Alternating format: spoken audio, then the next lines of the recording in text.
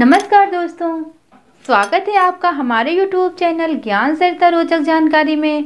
मेरा नाम है अंजू राजपूत और आज की वीडियो में हम बात करने जा रहे हैं कि घर में हमें किस प्रकार की फ़ोटो लगानी चाहिए, घर की दीवारों पर हमें कैसी तस्वीरें लगानी चाहिए, कौन सी तस्वीरों को लगाना हमारे लिए शुभ है और कौन सी तस्वीरों को लगाना हमारे लिए शुभ नहीं है, कौन सी तस्वीरों को लगाने से हमें किस प्रकार से नुकसान हो सकता है। तो फ्रेंड्स, आइए जानते हैं।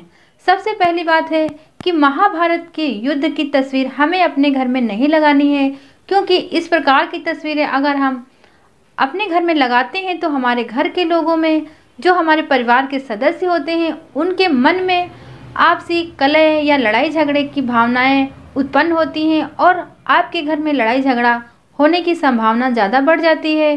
दूसरी बात है फ्रेंड्स अपने घर में कभी भी किसी कब्र या किसी समाधि की फ़ोटो नहीं लगानी है, क्योंकि इस प्रकार की फ़ोटो अगर आप अपने घर में लगाएँगे तो इस तो तो इस तरह की फ़ोटो आपको लाभ कम, हानि ज़्यादा देंगी।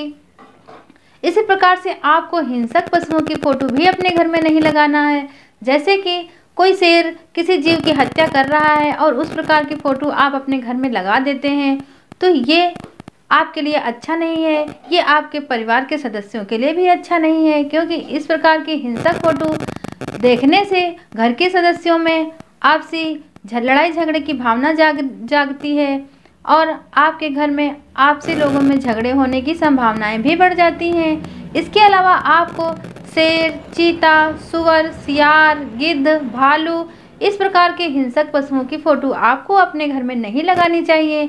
ये फ़ोटो अच्छे संकेत नहीं देते हैं। इसके अलावा आप बहते हुए झरने या बहते हुए पानी की फ़ोटो भी अपने घर में ना लगाएँ। इस प्रकार की फ़ोटो लगाने से आपके घर में फिजूल खर्च ज़्यादा होता है, आपके घर में पैसा नहीं टिकता है। कब्र और समाधि की तरह ही आपको घर में कांटेदार पौधे नहीं लगाने हैं, क्योंकि कांटेदार पौधे लगाने से घर में नकारात्मक ऊर्जाएँ प्रवेश करती हैं और घर के लोग परेशान रहते हैं। इसलिए आप कभी भी घर में कांटेदार पौधे या कांटेदार पौधों की फ़ोटो बिल्कुल भी ना लगाएँ। बहुत सारे लोगों को देखा है कि वो घर की हर दीवारों पर घर में जगह जगह भगवान की फ़ोटो लगा देते हैं, लेकिन ऐसा करना अच्छा नहीं होता है। भगवान की फ़ोटो तो सिर्फ़ भगवान के कमरे में या पूजा स्थान पर ही लगानी चाहिए। इस तरह हर जगह पर भगवान की फ़ोटो नहीं लगानी चाहिए। इस तरह से लगाएँगे फ़ोटो तो ये फ़ोटो आपको लाभ, कम और हानि ज़्यादा देंगी। इसी प्रकार से डूबते हुए सूरज की फ़ोटो भी अपने घर में न लगाएँ। डूबता हुआ सूरज शुभ संकेत नहीं देता है, इसलिए डूबते हुए सूरज की फ़ोटो भी अपने घर में ना लगाएँ। तो फ्रेंड्स, ये थी जानकारी कि घर में किस प्रकार की फ़ोटो लगानी चाहिए।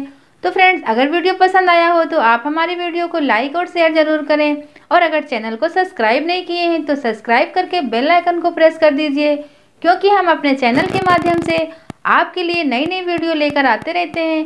आज के लिए बस इतना ही। फिर मिलेंगे अगली वीडियो के साथ। तब तक के लिए नमस्कार।